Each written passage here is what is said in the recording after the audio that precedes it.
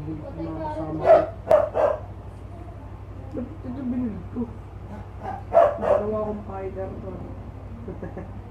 Kaya mo like, eh, Dapat up tank yan eh. kaya mo like, Wait lang, mamaya na. Pag, namat, pag nakapatay ako na. Pag nakamaniac ako. Wala lila mag-maniac. Mga paa! Di nga salita eh. Nakleng. Nak! Tsaka magandang motivation nga guys yung isipin mo huling araw mo na ngayon. Isa na yung naging magandang motivation ito ano. Paano kung huling araw ko na ngayon?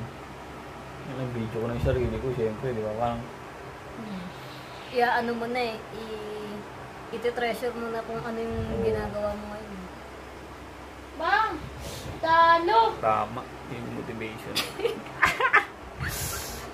Ngayon, huling araw mo na ngayon. At least na ano mo pa, yung, mo pa yung Moment na yun. ngayon.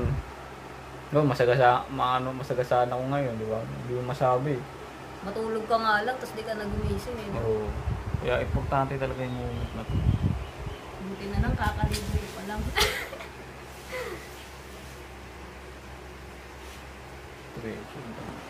Every seconds nga mahalaga eh, no? Kahit si mama, video-video mo si mama, tapos si tatay. Si bihira yung pagkakataon na nandito pa sila sa mundo, eh, di ba? Video mo ng videohan, pagdating, pagdating kay tatay, pak, video mo na agad. All time, basta. Nagkwentuhan nga kami ni mama eh, nung isang gabi. Sabi ko, ma, anong gusto ko pag, anong gusto mong maging ako pagdating mo ng araw?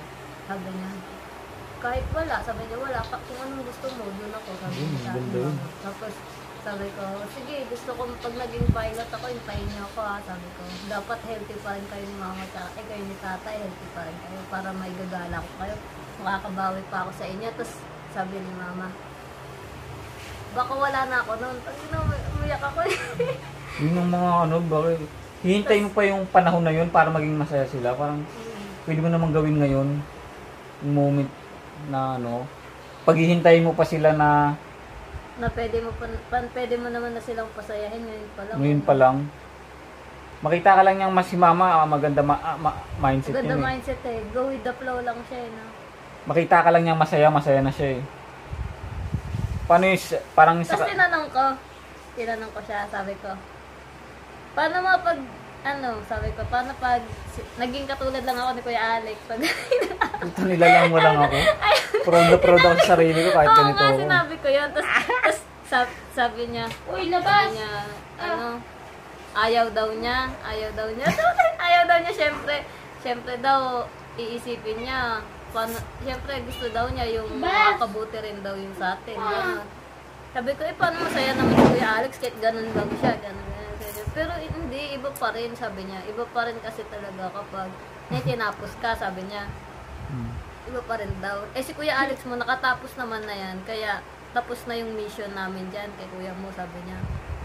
Na depende na lang daw sa iyo eh kung gusto magtrabaho o hindi eh. Pero daw, ang suggest niya, sa akin sabi niya, wag daw ako tutulad.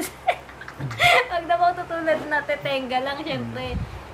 Ano, sabi niya, mas masarap pa rin daw yung, ano, yung, yung nakakatulong ka, sabi niya, na may trabaho, may trabaho ka. yun nga eh paano ka makakatulong sa iba sa mas marami kung sarili mo hindi mo Ayun matulungan nga, Yun yun. siyempre, dapat sabi, sabi naman ni mama, dapat masaya ka muna sa sarili mo bago ka, Kasi, bawa, minsan tayo gusto natin magpasaya ng tao, di ba?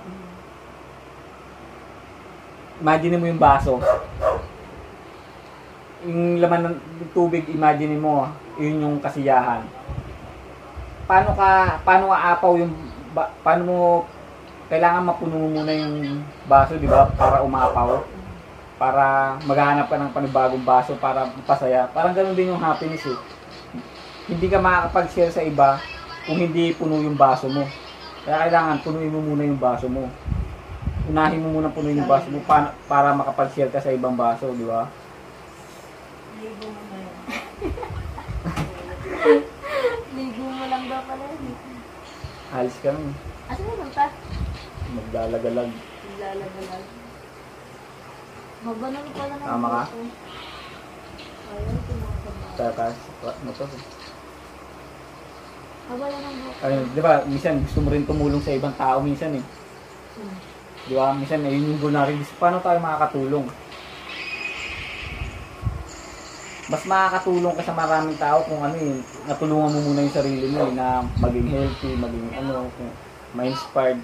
Paano ka makakatulong sa iba kung sarili mo hindi mo matulungan maging healthy, maging ano, maging masaya. Di ba? Imagine mo yun.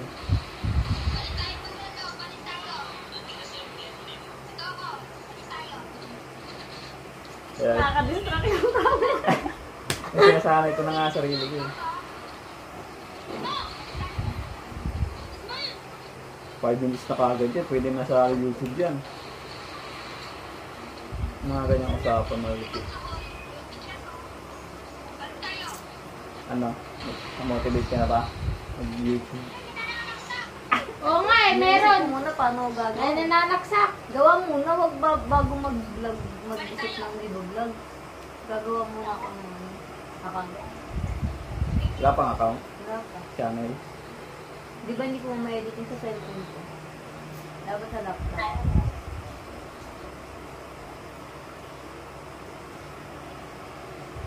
Taba ako ng putik. Nakita ko yung, yung Kalaban. katawan, katawan ko dati. Ang payat ko eh. Suko na yan kasi dati. May bilbilo. Pero may shape ko na akong vlog. Hindi na, maligo na. Oh, mag-vlog ka.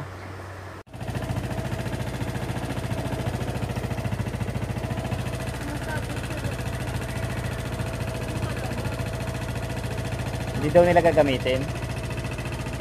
Hindi, wala naman dyan sila sila Tita Lari. Ano yan? Sausage.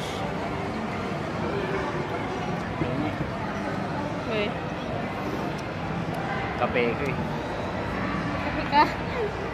Kao ka. Ano, ano? Ano sinasabi mo? ah, wala.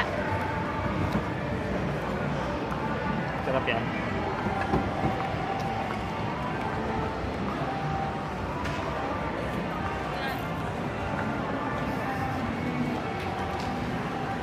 Taras mo kumagat ng hotdog ah.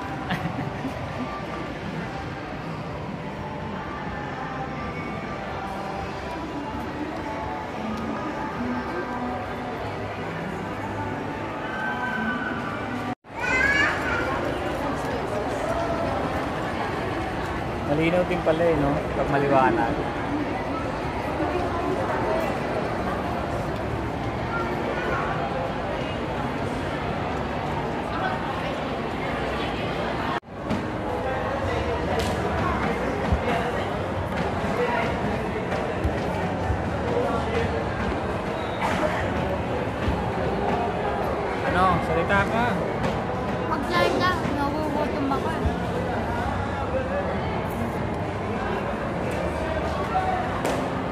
Better cement too.